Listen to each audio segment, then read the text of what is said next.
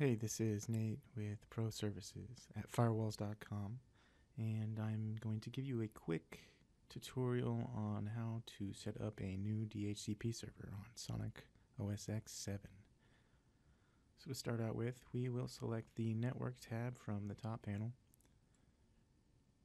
and on the left panel, we will look for DHCP server under System.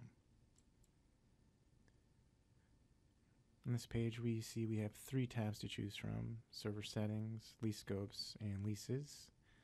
Under server settings, we want to make sure that DHCPv4 server is enabled.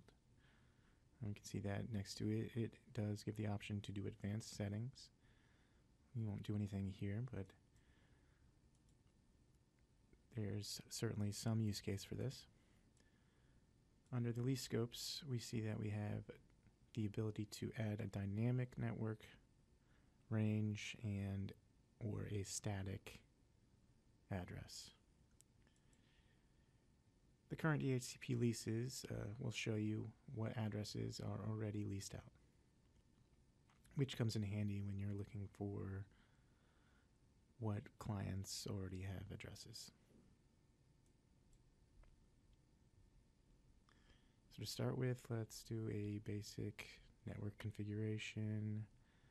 We'll add a dynamic.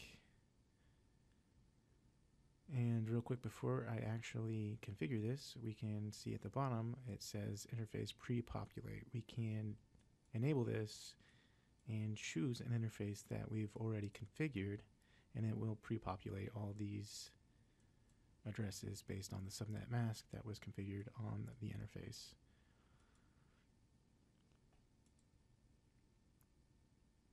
So if you do not have an interface already set up, you can easily create a new range from scratch.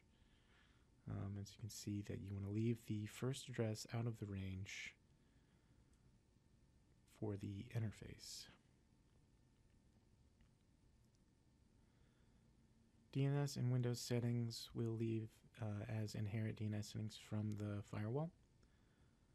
And there's Nothing really we need to manage in advance because we're doing a basic setup here.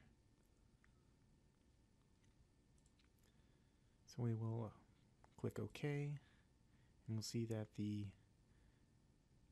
range is set here and it is on an X interface 5 X5 you can see that the Current leases remains the same.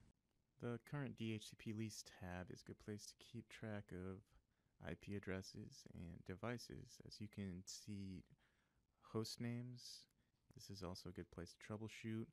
If devices don't seem to be connecting, you can rule out that it is an IP addressing issue.